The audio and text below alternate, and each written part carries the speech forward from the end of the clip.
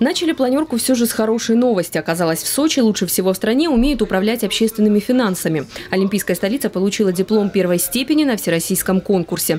Учитывалось 69 показателей, среди которых эффективность бюджетного планирования, а также открытость и прозрачность работы местных финансовых органов. Плохой же новостью стало известие о заторах. 15-километровая вереница из автомобилей в эти дни скапливается на подступах к Сочи. От Вардане до центра курорта гости добираются без малого 5 часов.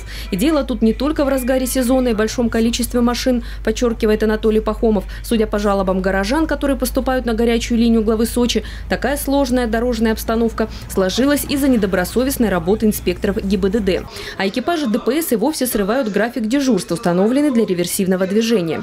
На Мамайском перевале реверс с 8 до 11 утра. Прокомментировал сложившуюся на Мамайском перевале дорожную ситуацию и директор городского департамента транспорта. Юрий Усачев отметил, что на данный момент идут проектно-изыскательные работы по расширению этого участка дороги до четырех полос. Строительные работы начнутся в следующем году. В ближайший месяц или полтора, опять же, собственникам дороги Упордор Черноморья будут проведены работы по, э, скажем так, ну, по возможности. Они немного расширят дан, данный участок и организуют временную схему э, движения четырехполосного.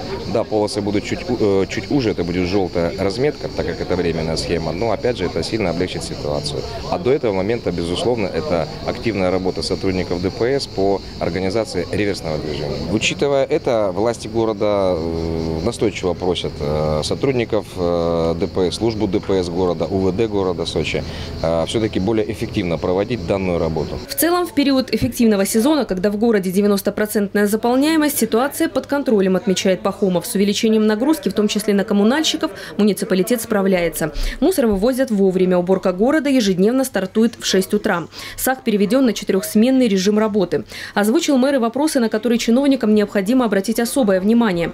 Это архитектурный облик курорта, санитарное состояние вокзалов и железнодорожных станций. Это то, что первым бросается в глаза туристам из окна поезда.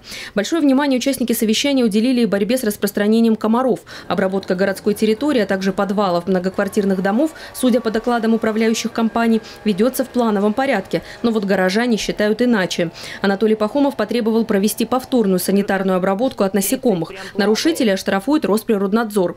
Рекреационным же объектам, особенно там, где есть водоемы, борьбу с комарами вовсе необходимо вести по всем фронтам. Тут в помощи эвкалипты и золотая рыбка Сочи – гамбузия. Комаров быть не должно.